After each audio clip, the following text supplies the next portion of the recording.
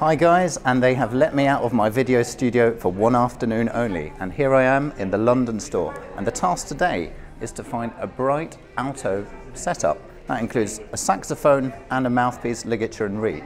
And I thought it would be useful for you if I was to pick out two setups, a much more affordable student option, and if money were no object, a really expensive option.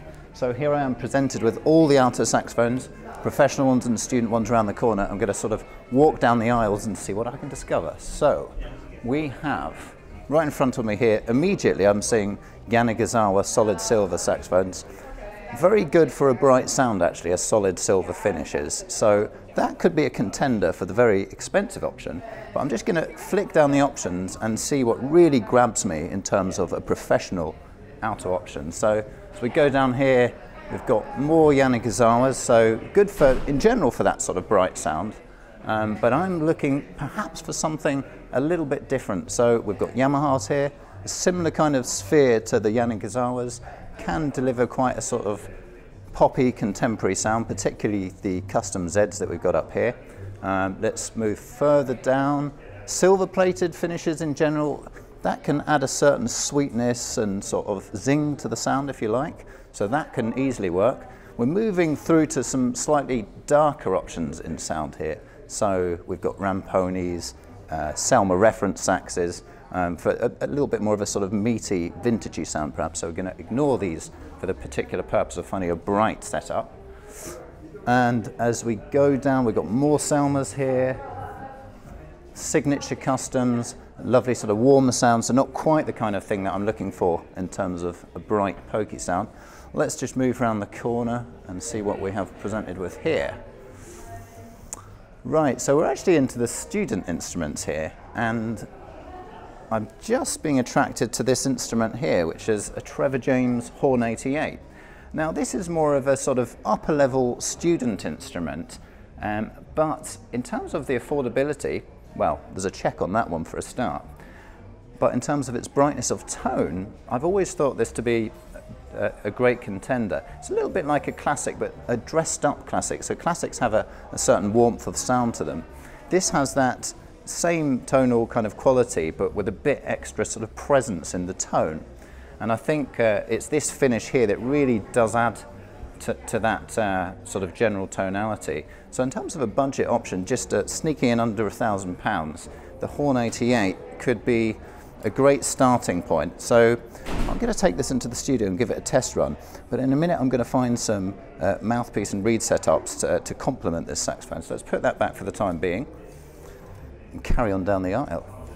So, more student options here. So we've already got our student instrument, so I'm just now looking for that killer professional sax.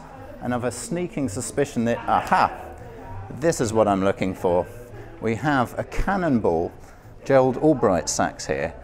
Perfect for that bright sound. I don't know if you know about the player Gerald Albright, but look him up. He's an amazing smooth jazz American artist who produces an absolutely powerful, radical, bright, modern sound. Um, it really is uh, something to behold.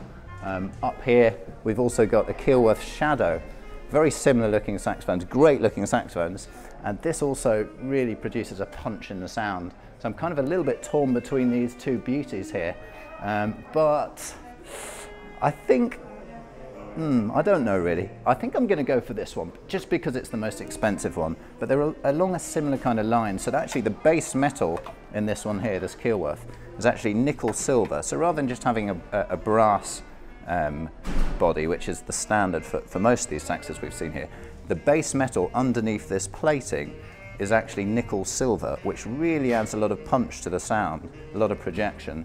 And then on top of that nickel silver, we've got a black nickel plating, which adds some extra zing to the sound, as well as the silver plated mechanism keywork that you see there. So that is a great contemporary and expensive alto saxophone. So we just need to pair this up with a mouthpiece now. So let's put that back for the time being. Let's step this way over to the mouthpiece cabinet.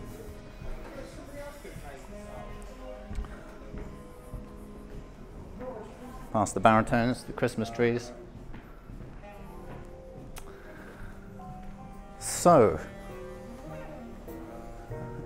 into the alto mouthpieces. Now, there's obviously a distinction between hard rubber and metal mouthpieces, and it tends to be more the norm to use a hard rubber mouthpiece on an alto setup. Just in that the alto already has a high pitch to it and potentially a kind of slightly more twee sound, and often players will try and balance up that natural kind of pitchiness that you get in an alto with a slightly warmer sort of sounding mouthpiece. So it's very common to have a hard rubber mouthpiece of some description mixing in with your alto setup to produce a nice overall balanced sound. But because I'm specifically after this bright setup for the purposes of this video and players looking for that bright sound, I'm going to pick a, a, hard rubber mouthpiece that's bright as well as a metal piece that's bright. So I'm going to pick one of each. So let's go for a, a, a budget hard rubber option first of all. And as I look along the rows here, yes, this is the one I'm looking for. Quite distinctive because it has this, uh, this white bite patch. This is a Claude Lakey. This, this one at the moment is sneaking in just under 100 pounds. And these are absolutely fantastic for a, a pop setup. So let's just slide that out of the cabinet. Yeah, very distinctive looking mouthpieces. And so the, the, main components of this mouthpiece in order to give it that sound are that it's got a, a small chamber, it really compresses into this point here so the sound really channels in and comes out in a very focused manner. But also, the really key part of the mouthpiece um, is the baffle and the, particularly the tip of the baffle this, this, is the business end of the mouthpiece and this is what really sort of channels and uh, distinguishes the sound. And it's very high at this point here, just in behind where the reader's doing a lot of its vibrating. So, I mean, it doesn't look like there's much to it, it's really lightweight, uh, but it has a high baffle and it has a small chamber, and I can tell you from experience, this thing really does go. So, combine this with a brighter reed, put it on one of these saxes, and uh, you're going to be uh, just amazed at what a smacking sound you can produce. So, so that is going to be my budget mouthpiece. Now, just because it's budget at 99 pounds, it doesn't mean there's a lack of quality there. Um, for example, uh, there's quite a few pop players who play on this piece uh, to, to, to, do what they need to do in the professional world. Simon Willescroft being one of them, amazing player. He uses one of these, he doesn't need an expensive metal mouthpiece, this does the job very nicely for him. Because there's a certain amount of warmth and underlayer in the sound because of the hard rubber, as well as the sort of natural sort of bright tendencies that you get as I've just explained. So that's the Claude Lakey. Just looking at some metal options down here. So we're looking at this row here. I mean, immediately on the left here, we've got a Theo Wanne Fire mouthpiece. That's an incredibly bright mouthpiece, as a lot of the Theo Wanne pieces can be. Um, immediately you can just see that baffle there straight away, and again it narrows up at this point here, really squeezing the sound. Um, there's a few others here. There's a Derga very well known for having a big step baffle. Yep, there it is, very nice. Um, and then as we look further along, there's a Superjet. That's a slightly more budget option over and above um, some of the more expensive Jody pieces, such as the DV. Um, yeah, very bright, impactful mouthpiece there. Um, and in terms of one to pick for my, my setup in the studio, hmm, I think I'm going to go for the Jody DV actually. We've got a, a number eight here. Again, it's got the high baffle. It's got a bit of a unique setup here with this cutaway section here to add extra resonance. Um, beautifully constructed mouthpiece and a real step baffle. I don't know if you can pick that out, but uh, it, it, drops off. It comes in about an inch and it drops straight down. Um, so a, an impressively um, poppy, commercially sort of sounding mouthpiece there. So that's going to be my expensive mouthpiece option. And in terms of ligature and reed, well, first of all, in terms of the mouthpiece setup, which is the mouthpiece, the ligature, and the reed, the two absolutely key components in producing um, a, a, bright sound, or in fact, uh, just making everything possible um, and having the most influence, would be the mouthpiece and the reed. The ligature is important, um, but it's a little bit more functional rather than having a direct effect on the sound. Uh, nonetheless, um, it's still important to get the right ligature, um, and I'm presented with a bunch of Rovners here. And I think the Versa, this always used to be a favourite of mine when I used to play a Guardala metal uh, tenor mouthpiece. The Versa strikes a nice balance in that it has has this metal plate here, which comes into contact with the reed and just um, makes everything ring through a little bit more, as well as having the sort of uh, security of the, you know, the leather section here. So I'm going to use a leather, uh, uh, sorry, a Versa ligature, pair that up with the mouthpieces that I've chosen there, and I'm going to do a demonstration on the Horn 88 with those two mouthpiece setups, and then I'm going to contrast that with the um, the shadow saxophone that you saw me select with those two mouthpieces. And generally speaking, you're just going to hear bright all round, but you will hear some kind of subtle tonal differences, and I'm going to discuss that a little bit further in the studio.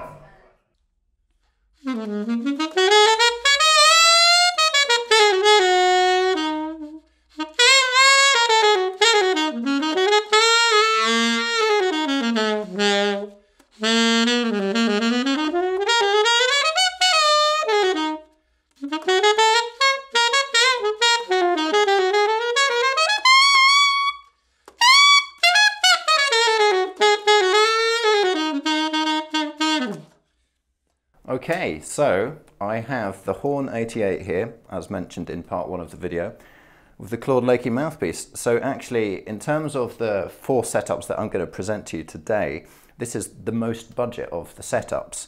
Um, this is basically a sort of high-level student instrument with this nice frosted um, kind of silvery finish, which gives it an extra bit of uh, fizz in the sound, as I was mentioning before and this rather bright but lovely Claude Lakey mouthpiece. So this is setup one. Without too much more talking, I'm going to go straight into setup two, which is the Jody DV mouthpiece.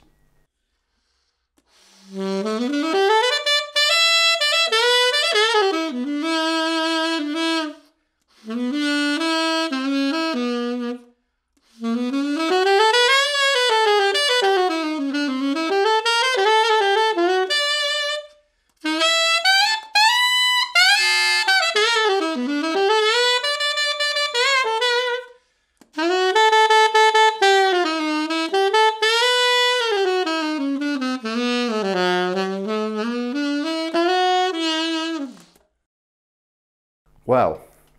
this is a great mouthpiece. Uh, the Jody DV, very fat at the bottom, and we're doing this video to try and demonstrate bright setups. And it certainly is a bright setup overall, but there's a lot of fatness in the bass part of the sound there that you can hear, but it really powers through. So just talking about a little comparison between the, this mouthpiece, the DV, and the Claude Lakey, both very good, um, I just find that there's a little bit of an edge with this one in terms of that weight of sound, the sort of width within the sound, particularly in those sort of lower regions of the sax. And then at the top, it's just got a little bit more spike and attack. Um, there's a bit more of a, a, slight element of roundness with the Claude Lakey. Um, more that ebonite thing, I suppose, but there's just a bit more spike with this one, but then it goes fat at the same time in the sort of lower region. So it's very interesting, and it stacks up very well on this, um, basically, an advanced student instrument, I mean, you wouldn't know it's a student instrument from the kind of um, the kind of powerhouse of sound that you can get from this whole setup, which I suppose is partially um, the point of this kind of demonstration in this video. But it will be interesting to see what happens now when I move to the Keilwerth shadow sax. Mm-hmm.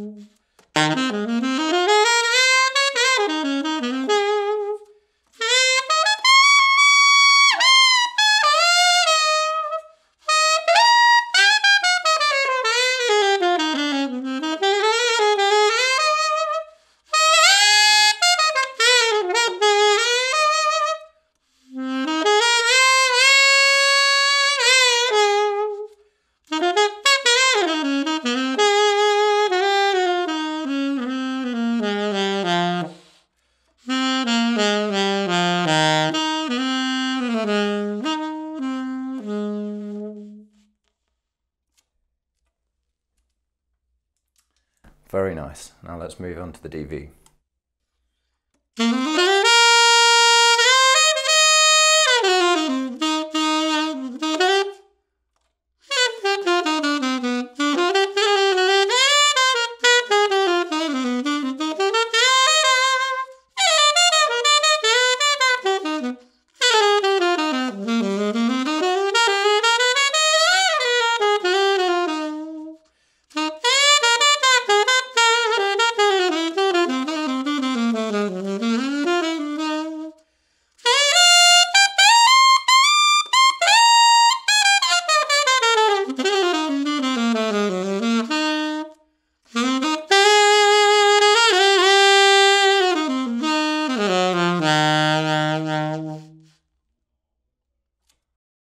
Okay, so another nice mouthpiece on what I think is a superb saxophone.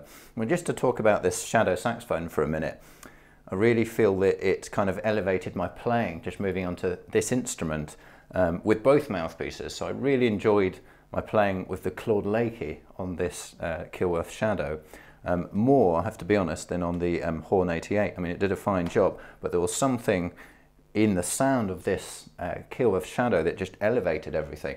So just firstly um, on the Claude Lakey, it's a lovely creamy kind of rich sound and there's a lot of warmth in there even though this is a video about a bright sounding setup.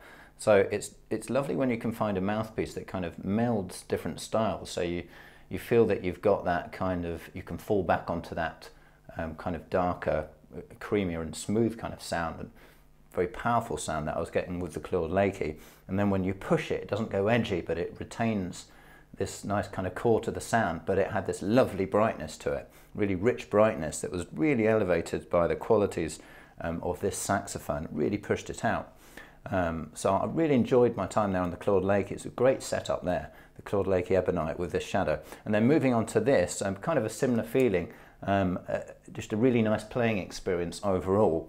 And again, like I commented before, you get those nice kind of husky undertones with this mouthpiece when you're playing in the lower regions, and then it's very powerful at the top. But at the same time, you still get that extra quality oozing through, um, courtesy of this, this really wonderful shadow actually.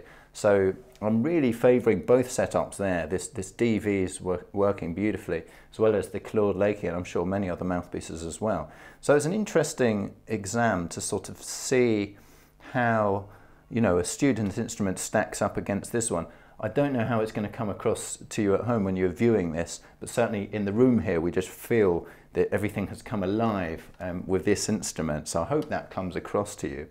Uh, but yeah, it's been a very interesting test. I've not done this kind of um, kind of examination before where we've scientifically taken two setups on a student instrument and moved them to a pro instrument. But for me, like, for me, I really feel a big difference moving from this instrument to this instrument. So I look forward to your comments on this video and see you on the next one.